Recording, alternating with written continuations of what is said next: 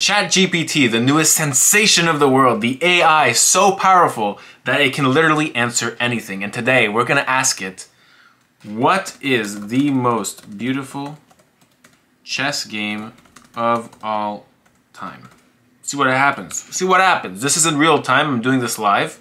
Beauty, beauty is in the eye of the beholder, so it is difficult to say which game is the most beautiful of all time. They all have many beautiful chess games played over the years, and different people may have different opinions on which game is the most beautiful. Subjective, I get it. Though, some of the most famous and aesthetically pleasing chess games in history include The Immortal Game by Adolf Anderssen and Lionel Kieseritzky, and the evergreen game between Adolf Anderssen and Jean Dufresne and the game of the century between Donald Byrne and Bobby Fischer. So the Chess AI gave us three world-class chess games that we're gonna see here today. I'm gonna touch very briefly on each of them all, and yeah, I hope you enjoy. Starting off with game number one, the Immortal Game. This was a casual game played in 1851 but little did they know, these players would go on to play one of the craziest and most beautiful games in history. So this game of chess started off very unconventionally. A king moving out uh, on move three, um, this knight moving three times in the opening. Not exactly modern chess, right? Very, very unconventional. This was a type of chess called romantic chess back in the day, as this was played in the 19th century. Romantic chess kind of evaporated in the late 19th century, like towards the 1890s and stuff like that. Giving pieces like crazy, gave up a bishop here on b5. Just don't ask, don't ask. So we give up a bishop for space and time, and here we take back a pawn on f4 with tempo on the queen. Queen needs to move, and here knight c3. And as you can see, white has such a beautiful and, and vast amount of space and development and center control for this bishop that you know what? It's not that bad. We're seeing that white is favored here in this position, says the engine. So here bishop c5, attacking a rook. You know what? Attacking the queen first. You must respond with a queen move here. Queen takes b2 before taking this rook. But now white finds himself in a little bit of danger. You see, we've piled up the threats against us and we need to hedge our bets here. But Anderssen, what does he do? Bishop d6, completely out of the ordinary. You're supposed to respond to threats in chess, right? This is what you were taught from the first game you've ever played. But no, Mr. Adolf Anderssen does bishop d6 here. And it's interesting. Uh, if queen takes a1, I think he would plan on doing king e2, and if queen takes, the same trick as in the game would arise. Uh, so Adolf Anderssen's opponent, Lionel Kieseritzky, Kieseritzky, I think he was Russian or he was German, uh, took on g1 and now e5. The reason you play e5, it's very interesting, you're actually covering the defense of this queen on the g7 square that we're threatening with this knight. And his opponent doesn't care about that, it's just like a little move, a little move, a little something, something. So his opponent takes on a1 with check, getting a second rook up. Just to give you some perspective here, we are down a full bishop on b5 that was given earlier, uh, one rook on g1, and now another rook on a1, and we're saving our bishop on g1. So material-wise, we're completely, everything's out the window. No more rules, it's done. Dunzo, king e2, king's in the center, Bongcloud on move 20, why not? Knight a6, I think black were just running out of creative options at this point. Not my professional opinion right there. And here, white lays out with you have so many pieces left. You have four pieces left. You have your king. Your king is going to start participating into the attack. No, right? But white comes in with knight takes g7. This is a this is an okay move, a relative move. It does check, right? Forces a king to d8. It's not bad. Taking a pawn, good. King d8. And here, queen f6 was played. Wow this this is the epitome of chess. It's like I can give you everything that I own, but if you just give me a few pieces left, enough to make checkmate, it's all worth the entire game, all for me. Crazy. Queen f6 is a queen sacrifice that forces this next black response, knight takes f6. There are no other moves. This king is otherwise in a mating net. And so after knight takes f6, we just lay the mate bishop e7 checkmate. A beautiful mate that uses every piece at least once, this knight is used twice, to take out that c7 square, defend the bishop on e7. This knight on g7, very important now, taking up that square on e8. And this bishop, of course, doing the crucial checkmate. And black is up one, two, three pieces. Four pieces. No, four pieces. Two rooks, a queen, and a bishop. They're up.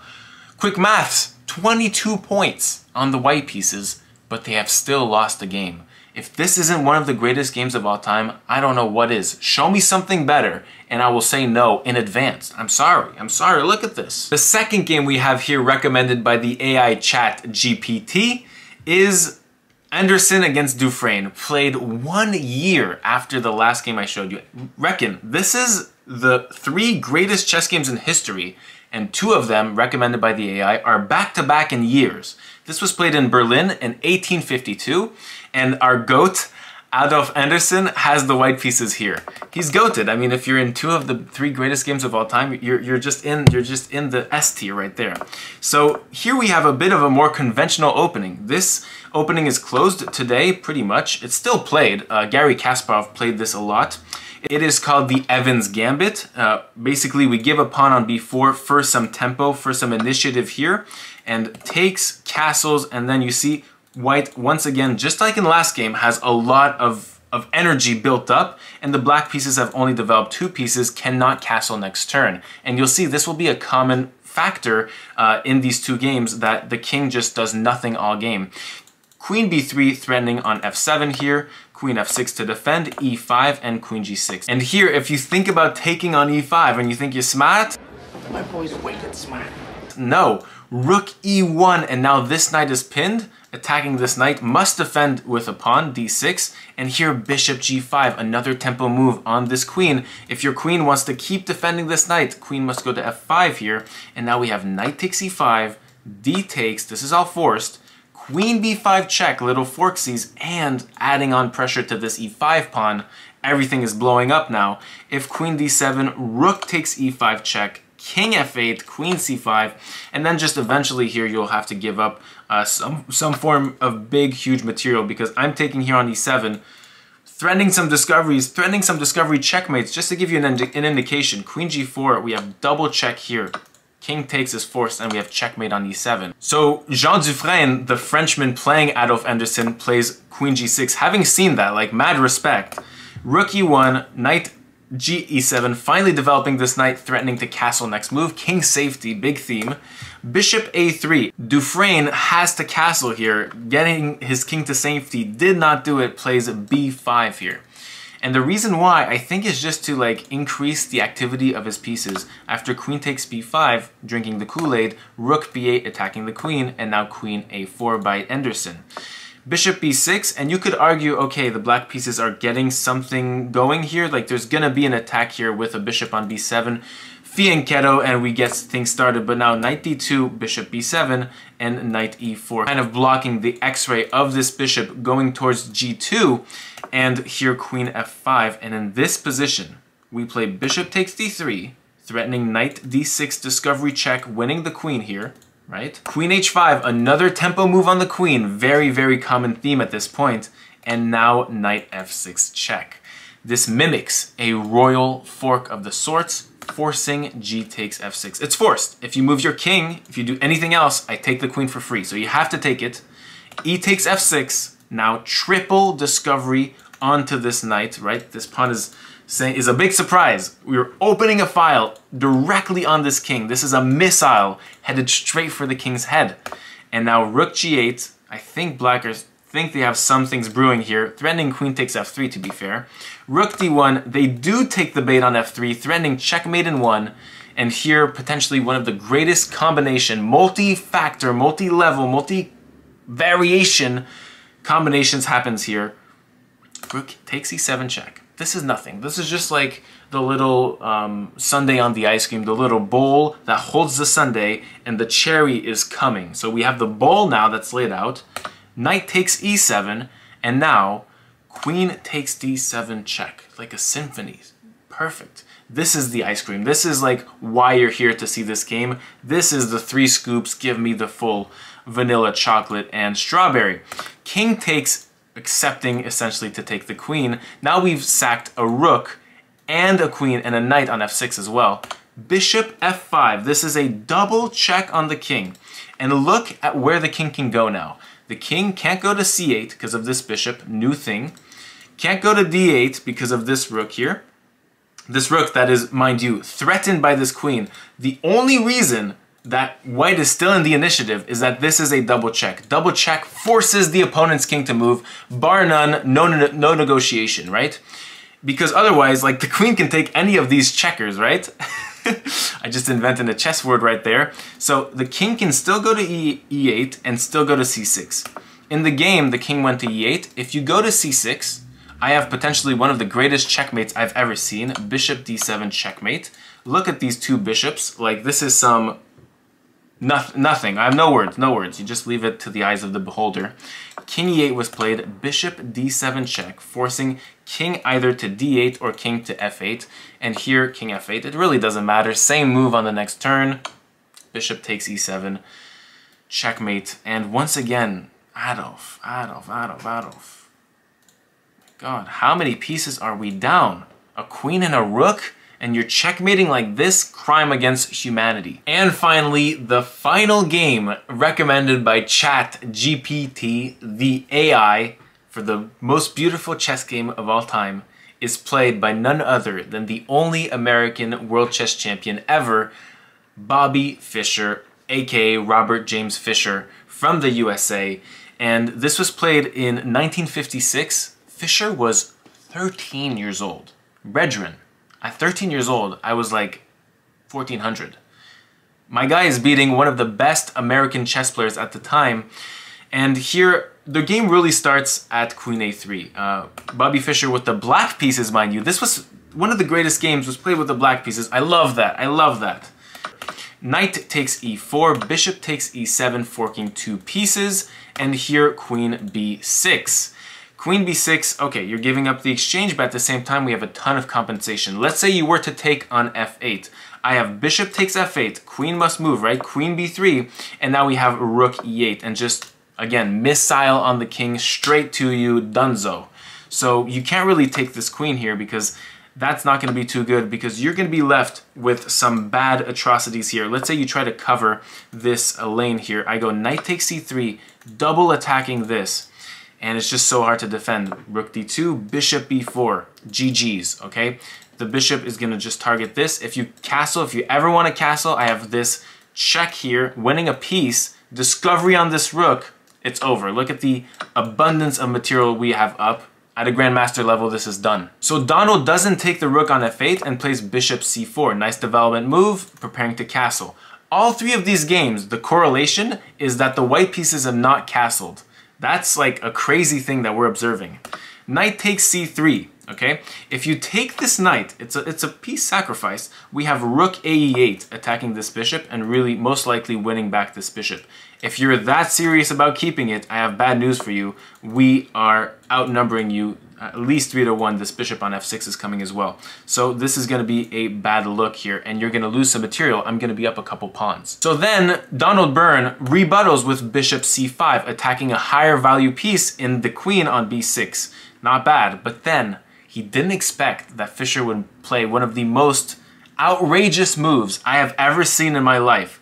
I remember analyzing this in uh, My Most Memorable Games by Bobby Fischer, when I was like 12 years old and I couldn't believe this game. I from the book I was playing around with it and I and I really I really thought the entire time that this game was winning uh, for the white pieces. I was rooting for the white pieces. I was such in disbelief, such in disillusion about this rook e8 check, king here, and then bishop e6. What? You just sacked the queen for virtually like attacking a bishop? What is this? What are you doing? And this is where it's very beautiful because now Donald Byrne, thank God, accepted the queen's sacrifice and let this game unfold. We take one bishop on c4 for the queen, right? The king goes here and you have an option. You could just do a perpetual here and be completely fine with life, right? Here, move here, just do a perpetual check. This would result in a draw. But Bobby Fischer decides to go for the entire bag. This is what I love about Fischer. He famously does not like draws. So he's going knight e2, knight back to c3, and then takes this bishop. So now we're at two bishops for the queen, attacking this queen on tempo. And now the knight is defended because Fischer took this pawn here on e4. Very important and critical moment of the game. And so now we attack this queen, attacking this rook. Queen must move, attacking our bishop. And now we go rook a4 to save our bishop. Keep up with the tempo. This is the two big things we're seeing from the greatest games in history is tempo and making your opponent's king not castle. The biggest things by far. And also a rook against the king, missile on the king for sure. So the queen must move once again, and now we have a rook. So let me just paint the picture here. We have compensation, this is called. The word is compensation for a heavy piece of material. So the compensation we have here is a rook and a bishop pair for the queen. Okay, so queen is worth nine, bishop pair is worth six, rook is worth uh, five. The bishop pair is actually worth seven, um, which Garry Kasparov actually said himself. So bishop pair and rook, that is 11 versus 9. So let's see how that pans out for the black pieces. On paper, the black pieces are winning, but this is where it's beautiful. How he wraps this up is absolutely world class. So we get a system in which we have three pieces and we're trying to really go on these weaknesses and concretize this advantage, right? We also have another advantage, these two passed pawns, and this is gonna weigh over the queen because the queen is the only very mobile piece that's gonna be in charge of defending against these pawn pushes. h4 here, h5, solidifying a nice g4 square, and also blocking in this king. This king cannot like go anywhere outside, and you'll see that this king is actually much more restrained than we than it looks, right? Knight e5, and now king g7. King g1, bishop c5. So this king g7 was not just like a king move, okay, we're just gonna wait and wait till my opponent does a blunder. No, this is GM level. So the king move is to get the bishop out of this pin so we can have a fourth participant into the attack. King f1, and now we have knight g3, and this is all forced, by the way. The king can't go anywhere, can't go up, can't go to the left because of this new bishop in. So the king goes to e1, bishop b4 check, king d1, right? All forced, can't go to f1, can't go up anywhere. King d1, bishop b3 check. Look at this. The bishop from previously takes up this e1 square. This new bishop takes up this d1 square, forces the king to go one more. So the king has literally done a salsa dance to the c1 square. Knight e2 check. Again, this bishop taking up this d1 square. This bishop is now free here on b4, can do whatever it wants. This knight taking up the c1 square, forcing the king once more to complete the salsa dance. And now we have knight c3. You know what? You go back on your moves all the time in salsa. King c1, all forced once again. And now you have a choice. You could go bishop a3, rook c2 checkmate. What a beautiful checkmate. This bishop is defending this rook. This rook is outlaying the, che the check on the king, and this knight is taking out the two most critical exit squares for the king. And this is one of the most beautiful chess games because all the little soldiers, all the minor pieces are working together against a queen and a knight. And this was played at the age of 13 years old by Bobby Fischer. 13 and you're playing this genius, creative genius on the board. And that is AI's most beautiful games that it finds are the most beautiful games, the top three ever in the world. What we learned from this, use tempo for you on your opponent. Attack heavy pieces. Number two, keep your opponent's king in the center as much as possible. The tempo will help to do number two. And then number three is bring a rook or bring bishops alongside attacking, targeting that king in the center to create more weaknesses and more tempo for yourself. And those three games sum up the three most beautiful chess games ever played. I hope you enjoyed this video. See you next time.